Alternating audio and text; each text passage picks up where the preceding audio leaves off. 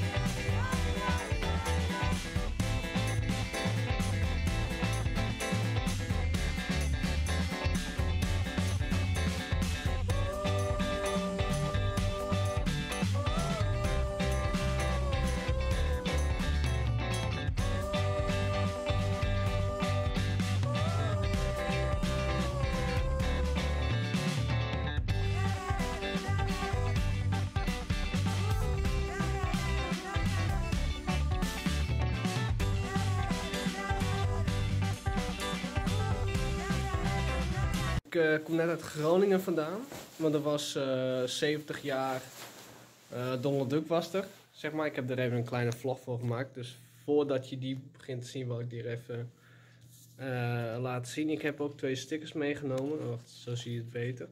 Kijk, twee stickers.